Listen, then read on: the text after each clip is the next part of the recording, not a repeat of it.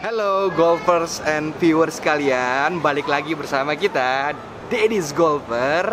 Hari ini Deddy's Golfer ada yang spesial. Deddy's Golfer diundang untuk mereview dan menyaksikan pembukaan dari driving range Greenbelt The Match Senayan National Golf.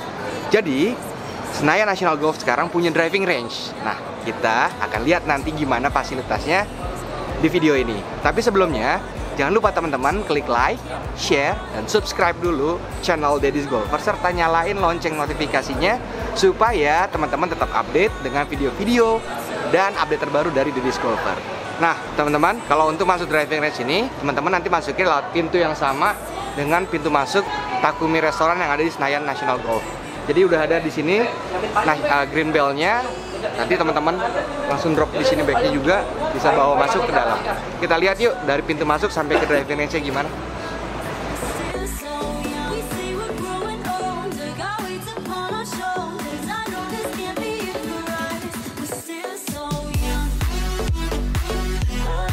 Nah, viewers, sekarang kita udah di dalam driving range-nya Green Bell ini.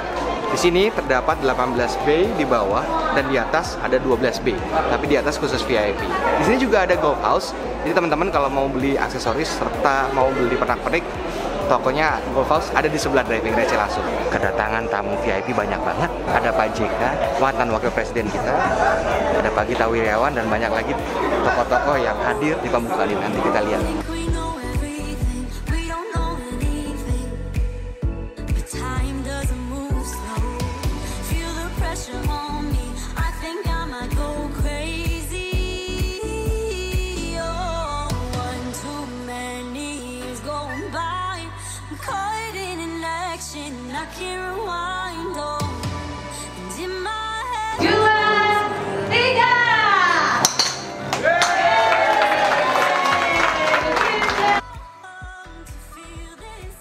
Di sini T-nya naik turunnya otomatis. Jadi para golfers kalau mau nyesuaiin T-nya nggak perlu turun naikin. Tinggal pakai stick aja turun naik sendiri. Ciamik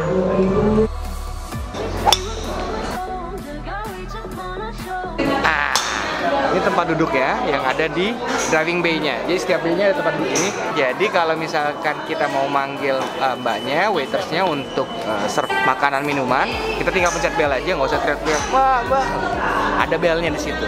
Sekarang kita mau lihat bolanya jadi bolanya ini yang dipakai di driver range ini bolanya seperti bola di lapangan, cuman designated khusus buat driving range. Bolanya bukan bola floating, jadi hampir mereplikasi bola sebenarnya di lapangan. Di setiap bay-nya ada cermin.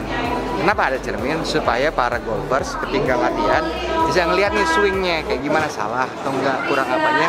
Kita lihat ada cerminnya di sini. Cerminnya bisa di-adjust, jadi sesuai dengan height-nya serta stance daripada golfer di sini.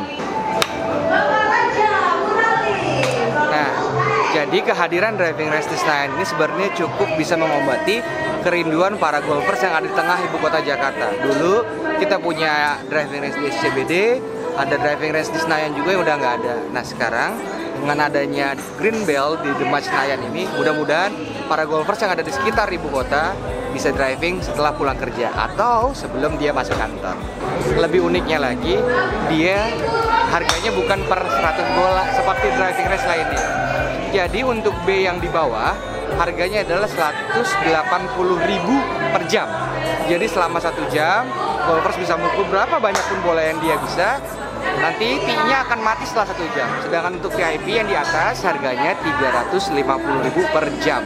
Ingat ya teman-teman per jam bukan per 100 bola. Di sini driving range di Senayan ini adalah satu-satunya mungkin pertama yang di Indonesia yang menggunakan jaring sebagai landing zone-nya. Biasanya ada yang bawahnya rumput atau ada yang bawahnya kolam. Tapi di Senayan landing zone-nya adalah jaring sehingga memudahkan bola-bola untuk kembali lagi. Ini juga kayak biasanya golfers yang lihat kalau driving di negara-negara kayak Korea, Jepang yang space-nya terbatas. Biasanya mereka pakai jaring sebagai landing areanya bola. Sekarang kita mau lihat VIP B-nya dari Senayan Driving Range ini. Yuk kita lihat.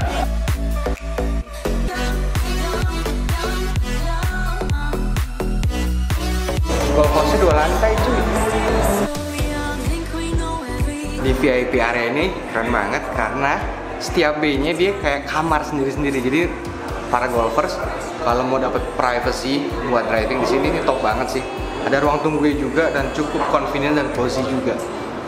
Nah, kita lihat salah satu roomnya VIP di. Wah, keren kan? Nggak ada nih tempat driving range di Indonesia apa di Jakarta yang ada VIP-nya dan luxurious kayak gini cozy banget. Jadi ini full AC ruangannya. Di sini ada kacanya juga untuk partisi sebagai orang mau mau driving di sini. Jadi kalau yang lagi driving di sini nunggunya enak banget. Ada ada TV juga. Terus kita kalau ke bay tinggal buka pintunya. Nah, kita sekarang udah di bay-nya nih. Keren kan? bay-nya. Jadi di sini bisa untuk 2 sampai 3 orang per jamnya. Menurut kita sih 350.000 itu per jam worth it banget kalau di VIP. Ya, keren banget soalnya tempatnya.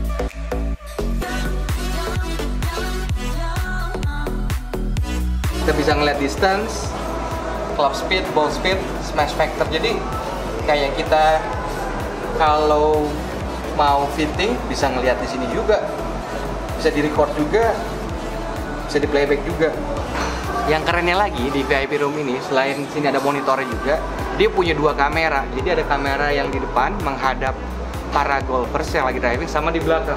Golfers bisa mengcompare swingnya dengan swing pro yang ada di sini. Jadi original pro-nya yang ini. Jadi kita bisa ngelihat kalau mau ngebandingin swingnya teman-teman sama swing pro yang default di sini cukup keren sih fasilitasnya cukup oke sih jadi para golfers bisa menyesuaikan nih kalau mau ngelihat swingnya tanpa perlu adanya pro cuman saran kita tetap sih harus ada pro yang fisikal supaya bisa memberikan feedback yang aktual terhadap swing dari golfer semuanya Oke, golfers and viewers sekalian. Jadi itu semua tadi keseruan kita dari Golfer mereview Green Bell Senayan Driving Range. Semoga video yang kita buat ini bermanfaat untuk teman-teman dan golfer semuanya.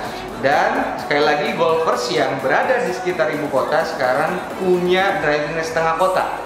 Jadi cepet-cepet deh buruan pada datang dan nyobain driving di Green Bell The Match Senayan Golf Club. Sekian dari Deddy's Golfer. Terima kasih kepada semuanya yang udah menonton dari awal sampai akhir.